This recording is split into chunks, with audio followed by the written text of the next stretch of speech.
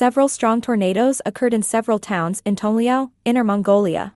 The tornado struck around 4 p.m., packing an initial gust of wind that kept the area captive for 10 minutes without stopping, eventually giving way to a downpour. The Bureau of Meteorology's expert assessment classified the tornado as moderate in intensity.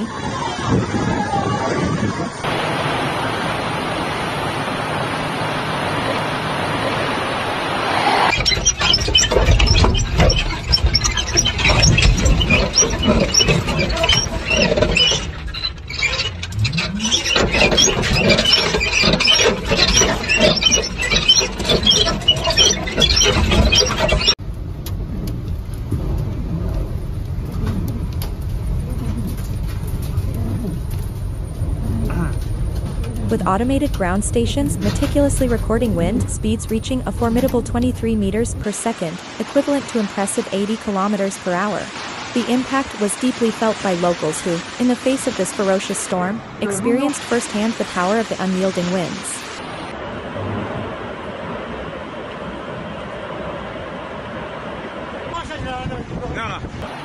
Amid the chaos, a villager from Tongliao town said the sky suddenly darkened, accompanied by a howling wind so fierce it tore tiles off the roofs. Another resident told of the heartbreaking moment their home's windows shattered, revealing only a world outside that had been turned upside down.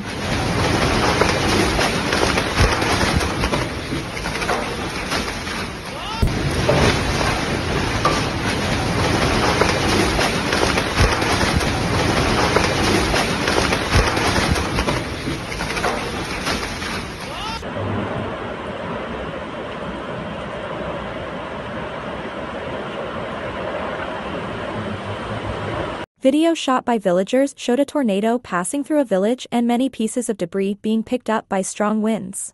Roofs were stripped bare, once thriving crops lay scattered, and the structural integrity of some red brick houses proved inadequate to withstand nature's relentless attacks, leading to partial and total collapse.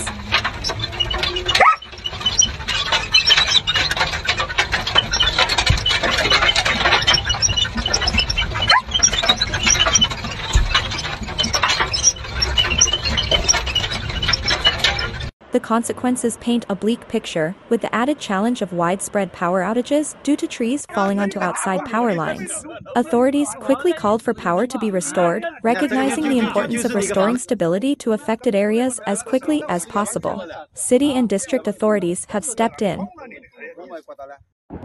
Please join us every day to stay updated with weather information. Don't miss out, click the register button to support us.